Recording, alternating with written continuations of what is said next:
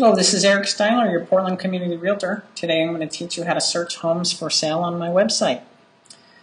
There's several places you can go to search homes. You can click on the neighborhoods, you can click search listings, or you can just click search property listings. Essentially, they're going to take you to my map. If you go to neighborhoods, it'll take you to a smaller view, certain neighborhoods.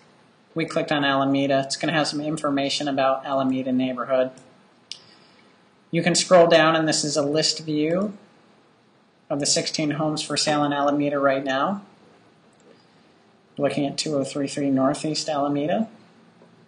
If you like this property, you can click Save as My Favorite, and every time you log in, it'll be listed as one of your favorites, so you can keep tabs on it, see when it goes pending, if there's any price drops.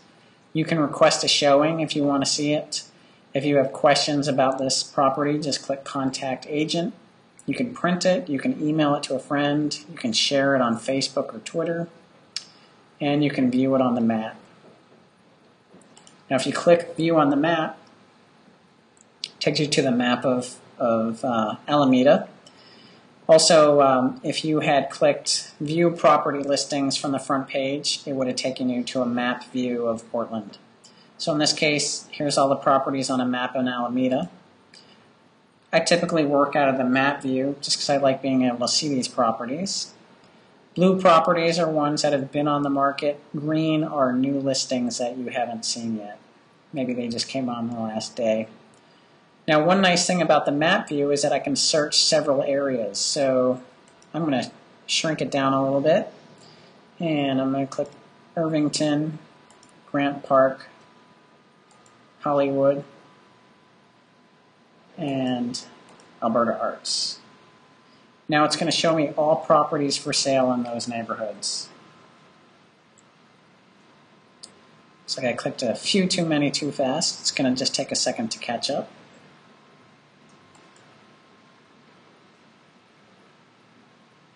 So now I'm clicking on properties in those neighborhoods.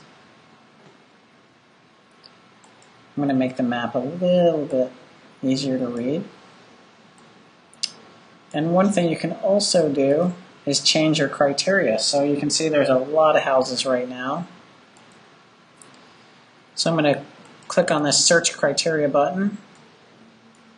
And maybe I only, I only want to see properties for sale between 500 to 600,000 and three to four bedrooms and maybe I don't want to deal with short sales, and I don't want to see any bank owned properties, and I only want to see residential. So no condos or attached houses. I click apply. It's still going to search in these neighborhoods, but notice there's a lot fewer properties. Now, if I want to add more neighborhoods, I can do that as well.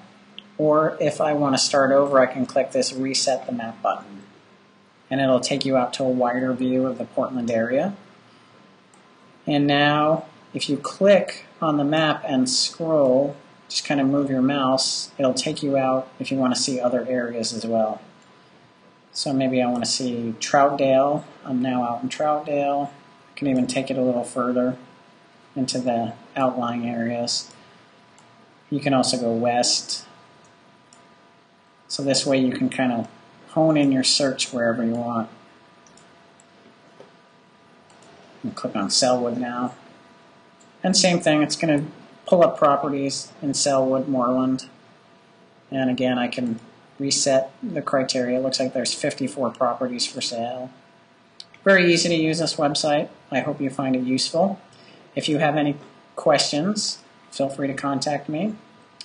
You can call me at 503 888 3111 or just uh, send me an email. Thank you very much.